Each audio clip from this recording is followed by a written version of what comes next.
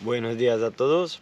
Hoy he sacado un ratito para ir a hacer una bajada corta, que he visto que el agua ha subido un poco a unos 160 cúbicos, pero ya lleva varios picos, pues esperaba que los peces no picaran tanto, pero aún así he conseguido dar con tres silburos, uno sobre un metro cuarenta, otro un metro veinte y un pequeñajo de un metro. Check, check, check. Lock. Lock. Check, check, check. Check, check, check.